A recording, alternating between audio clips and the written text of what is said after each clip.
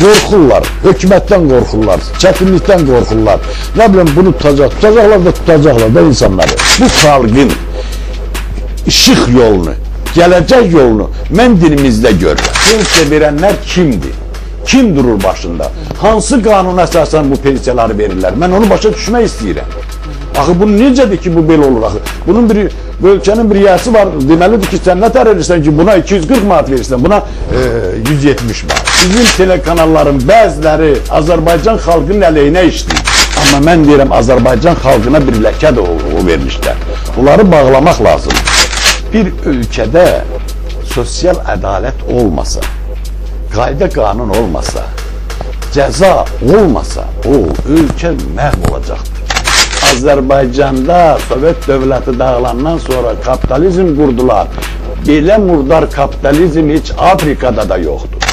İnsanlara üzünü çevirsin bizim məmurlar. Biri torpağı alır, pulunu verir, torpaq alır, ev tikib, təzdən bu uçurur. Mavilərin gəlib burada para keçirməsi, o biabırçılıq.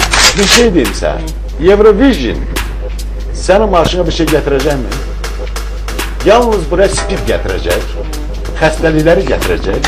Sən nə ilə, tutmamaqla, şırlaq atmaqla sən e, birinci yer tutacaqsan. Sizin belə baş- Bu qloballaşma deyilən şey var ha. Ona pusat Avropa özü deyir, qələt eləmişim mən bunu ortalığa salmışım. Mən Azərbaycan xalqının qutuluş yolunu dində görürəm. Mən amma molla hökumətini də istəmirəm. İndi bizə bazar milləti deyirlər. Bütün dünyanın bazarlarında Azərbaycan xalqı. Və bizim ziyalılarımız da yalan danışır. İnkişaf olsun. Normal ölkə olsun, normal yaşayış olsun, insanların iş yeri olsun, zavodlar açılsın, fabrika niyə açmırlar bu fabrikanı? Niyə açmırlar?